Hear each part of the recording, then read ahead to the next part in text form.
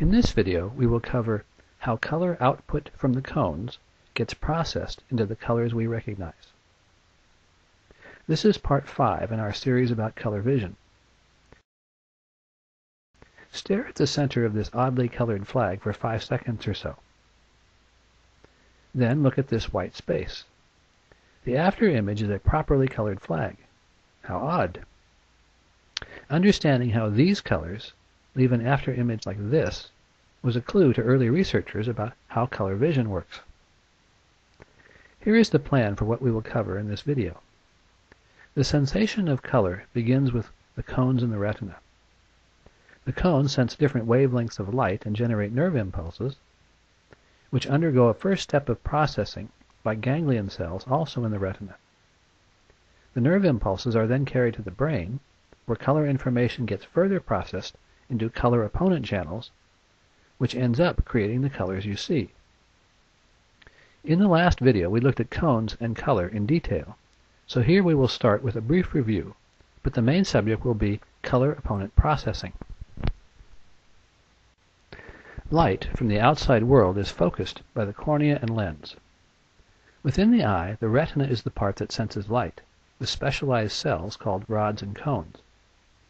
As the photoreceptors receive the light, that triggers a nerve impulse that is sent along the optic nerve back to the brain.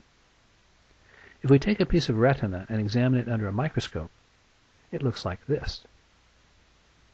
The retina is a layer of nerve tissue that contains three layers of cells ganglion cells on the top, bipolar cells in the middle, and located in the bottom cell layer are the photoreceptors, the rods and cones, so named because of their shapes.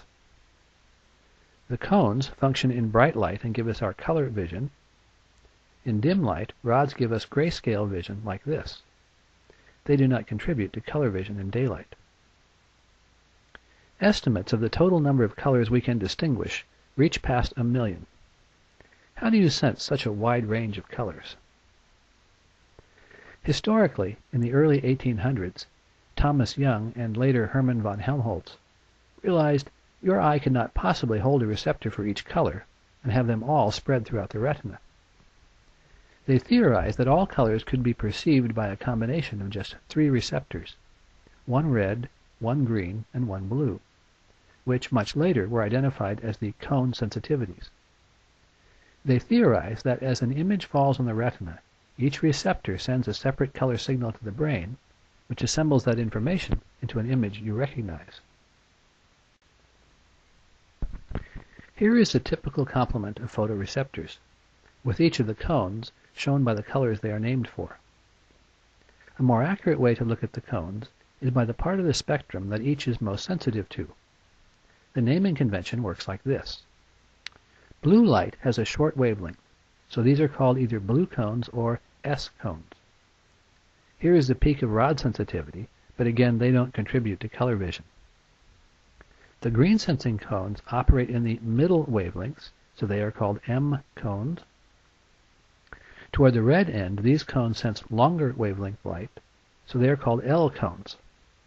Note how the range of each cone overlaps the others. As showers of photons arrive, they trigger nerve impulses from the cones. If there was only one cone type, shown red in this example, and an equal amount of photons arrived at either 500 nanometers or 620 nanometers, the cone would respond with the same output of nerve impulses.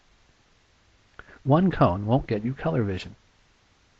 But with more than one type of cone, the visual system can compare the proportion of nerve impulses from each cone type you can see the same incoming wavelengths trigger different combinations of cone responses, thereby allowing us to discriminate quite finely between colors.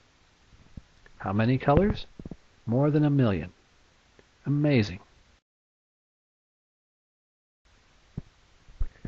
Within the retina, here is how the circuitry is organized. Each cone is connected to other nerve cells in the retina. Usually the output of several photoreceptors is gathered by a ganglion cell that sums the response for that area of the retina. The area of cones that feed into a ganglion cell is called a receptive field.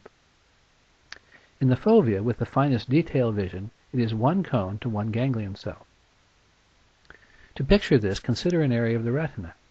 There will be many overlapping receptive fields gathering cone output. Now, a receptive field is organized in a particular way, into center and surround areas like a bullseye. The center is fed by cones of one type, while the surround is fed by cones of another. If hitting the center excites the ganglion cell, it is an on center. Hitting the surround area with an opposite input inhibits the ganglion cell, which is called an off surround. And there can be the opposite setup, an inhibitory off center and an excitatory on surround. Color vision researchers have found four arrangements in the retina. One, a center of red cone activation with a surround of green cone inhibition. Two is a green center with a red surround. Technically, blue also inputs into this system. Here is the other center surround pair with blue versus yellow. Here are the two opposing pairs, which show that this system is divided into red versus green and blue versus yellow. One term for this is a cone opponent system. Let me repeat. We have just seen cones feeding into ganglion cells in a center surround organization, creating a cone opponent system. Note that there is also black versus white, but that doesn't affect our color sense. But we are not through yet. Young and Helmholtz thought they had a sound explanation for color vision using just cones. But there were aspects of color vision that weren't accounted for by this theory. To try and explain those issues, an Austrian named Ewald Hering proposed an alternate system that divided color perception into three channels blue yellow, red green, and black white. He called this opponent color theory. He based his opponent concept on two main findings. First, and this is something you may not have noticed, there are certain combinations of colors that don't exist in ordinary perception. For example, we can perceive purple as a combination of blue and red, but we cannot perceive a color that is a combination of blue and yellow. There is no bluish yellow. Likewise, there is a perception of orange as a combination of yellow and red, but there is no color perceived as greenish red. A mixture gets yellow, but not greenish red. These pairs of colors, blue and yellow, and red and green, are mutually exclusive so they are called opposing or opponent colors. Supporters of the two theories of color vision, cones versus opponent colors, battled for many years. Time passed and researchers got a better look at the detailed workings of the retina and color processing. Eventually, it looked like both theories are correct. So let's take a look at how the opponent color process works. Color information that started in the retina is divided into three separate channels. One channel is for luminance, black versus white. Another channel is for blue versus yellow, and the third channel is for green versus red. Here are all three color axes. Any color can be specified by a location in this opponent color space. Here is how each of the channels works. The channel for luminance receives its input from red and green cones. That determines the black versus white range. In the blue-yellow color channel, the blue input is from the blue cone, of course, but where is the yellow cone? Yellow, you may remember, comes from the combination of red plus green. So, by the relative input of the cones into the blue-yellow channel, the incoming light is judged to be either bluer or yellower. The red-green color channel also gets input from all three cones. In this channel, the incoming light is judged to be either redder or greener. So here is the diagram of the whole circuit, which yields the opponent color channels. Now, let's give you a different view, then we will return to this circuit. Here is another way of looking at the result of opponent color response. This is the blue versus yellow channel. Below 500 nanometers, the blue side dominates, Above 500 nanometers, yellow dominates. The red versus green channel looks like this, with red dominating at each end and green in the middle. When you put the opponent channel functions together, here is the result. Let's take a look at a specific example. Take blue at 450 nanometers. The red channel has input, as does the blue channel. The sum of the two inputs is this specific blue. Every color is perceived through a balance between the two channels. Now let's see if we can put all this together. Starting with the cones, their input into the ganglion cells makes the first separation into blue-yellow and red-green orientation. These are the cone opponent channels. When this was first discovered, it seemed this would be the mechanism for color opponency. Unfortunately, it is not that easy. Experiments show that this output does not match our final color experience. There is another step in color processing that occurs in the cortex that yields color results that do match our perceptions. What does that mean, match our perceptions? If color processing was only by the three cones, this is approximately what the spectrum would look like. After cone opponent processing, this is what arrives at the lateral geniculate nucleus before reaching the brain. Most of the colors are there, but they are not in quite the right places. After the final stage of processing, the colors end up in the places we are accustomed to seeing them. We can't leave opponent colors without specifically recognizing the unique hues. For a long time it has been recognized there are four psychologically elementary colors blue, green, yellow, and red.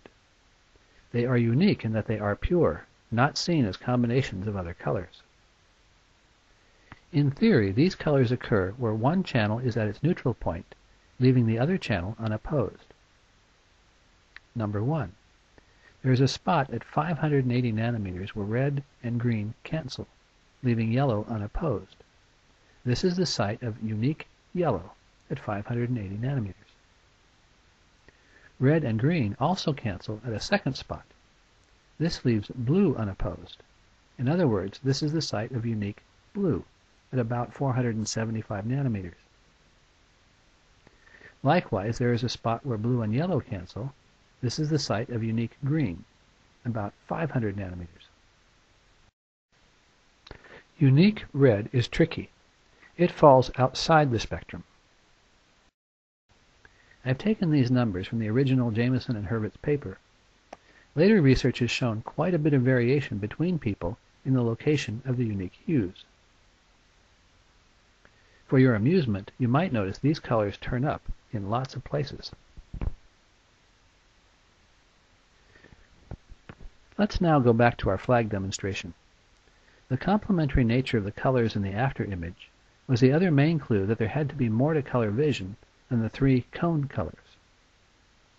Staring at the yellow fatigues that part of the blue-yellow channel, leaving blue temporarily dominant. Likewise, staring at the green leaves red temporarily dominant. And that is how the after image occurs. Let us finish by making an estimate of the amount of colors we can see. One way to think about this is to start with the spectrum.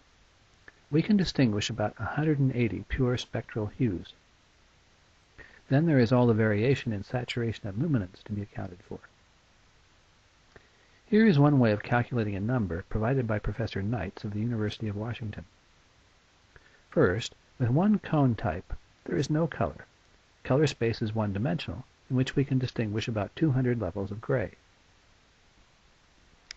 Adding a second cone creates a two-dimensional color plane.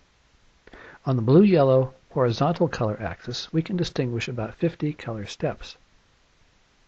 So 50 times 200 equals 10,000 colors. Adding a third cone adds a third dimension. The red-green axis adds 100 steps of discrimination. If the result was a rectangular solid, then 10,000 times 100 equals 1 million colors. This is Neitz diagram, including the full color map, from which he projects over 2 million possible colors. In summary, perception of color starts with the cones. Cones input into retinal ganglion cells by a center surround organization, creating a blue-yellow and red-green orientation. These are the cone opponent channels. When this was first discovered, it seemed this would be the mechanism for color opponency, but experiments show this output does not match our final color experience. The next step occurs in the cortex, where the color opponent process yields color results that do match our perceptions. Here is the estimated color result from each of the stages of color processing. This is a good place to point out that researchers are still working on each of the above steps. In the next video, we cover what vision is like with different numbers of cones. That gives us part of the story of what vision is like in other animals. And in another video, we focus on the very interesting story of color vision in primates. Here are selected references if you want to read further.